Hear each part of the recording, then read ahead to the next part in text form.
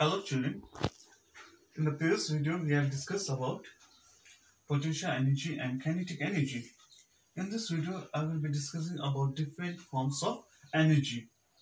And you know what are those different forms of energy? Heat energy, light energy, chemical energy. I will be discussing about those things, those type of energy briefly.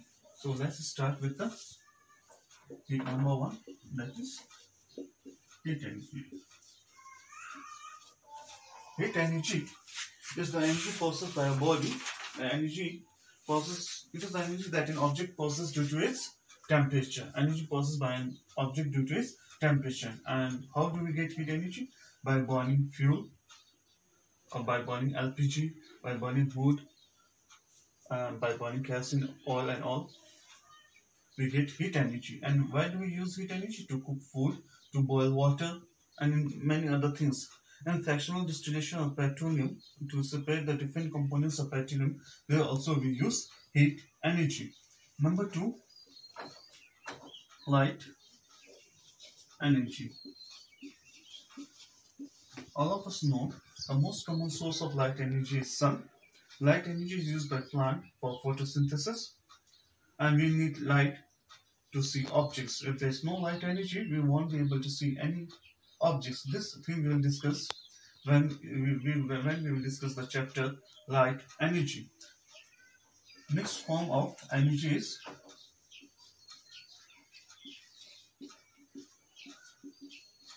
magnetic energy. As the name says, magnetic energy, it is energy possessed by magnet. And we know what type of energy does the magnet have. It can attract magnetic objects. What are magnetic objects?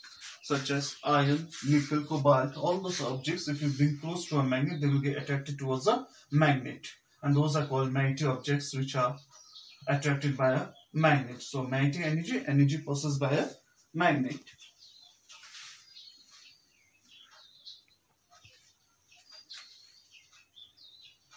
Next one is electrical energy.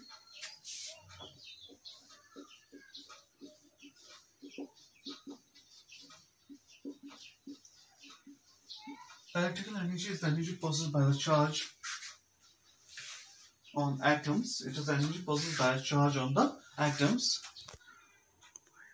Electrical energy, uh, I think you have, most of you have done this thing when you rub plastic scale on your hair and take it to small pieces, uh, to take it close to small bits of paper, you will find that bits of paper get attracted towards the scale. That's an example of electrical energy.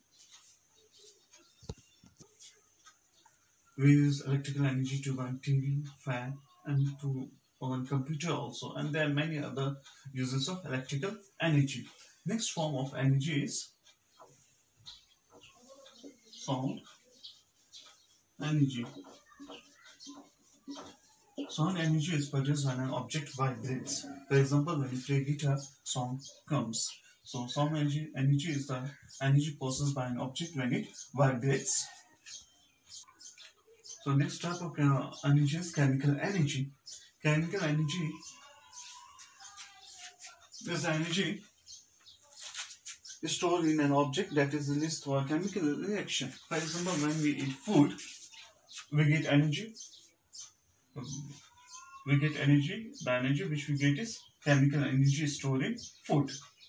Next one, next type of chemical energy.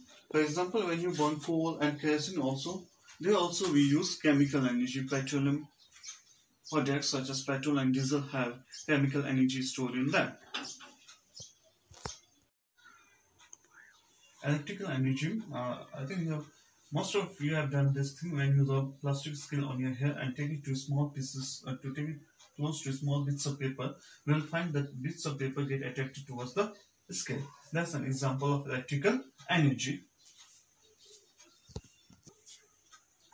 We use electrical energy to run TV, fan, and to run computer also. And there are many other uses of electrical energy. Next form of energy is sound energy. Sound energy is produced when an object vibrates. For example, when you play guitar, sound comes. So sound energy, energy is the energy possessed by an object when it vibrates. So next type of uh, energy is chemical energy. Chemical energy is energy stored in an object that is released through a chemical reaction. For example, when we eat food, we get energy. We get energy. The energy which we get is chemical energy stored in food. Next one, next type of chemical energy. For example, when you burn coal and kerosene also, they also we use chemical energy. Petroleum products such as petrol and diesel have chemical energy stored in them.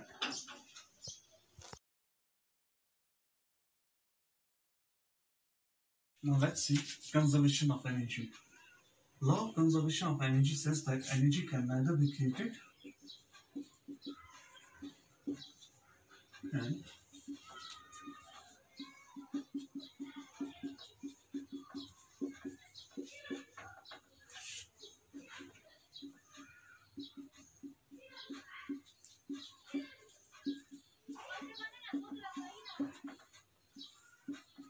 energy can neither be created nor destroyed. It can be changed from one form to another. Now, what does conservation of energy says? The total amount of energy always remains same. Total amount of energy remains constant. We can only change the form of energy from one form to another, but we cannot destroy it nor create it. The total amount of energy always remains same. For example, green plants absorb light energy from the sun and transform it into chemical energy of food. When this food is eaten by animals, this chemical energy of food is transferred into heat energy and other forms of energy. Energy changes from one form to another, but the total energy remains same or is conserved. What we do actually, we do the transformation of energy. Transformation of energy means transformation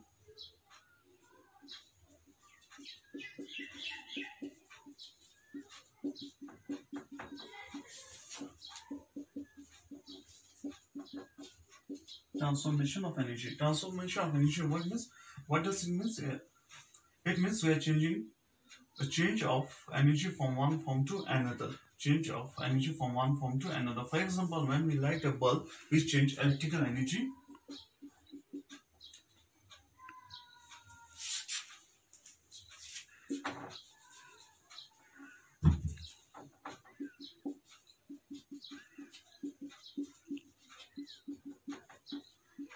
electrical energy to light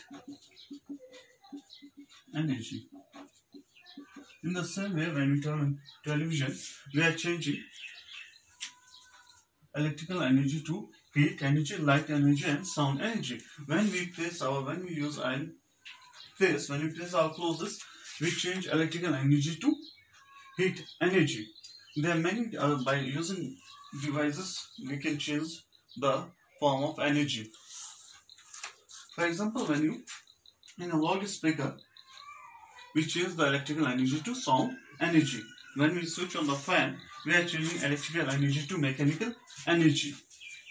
So in our day-to-day -day life, we are doing transformation of energy in many different ways. So in this video, this much. Thank you.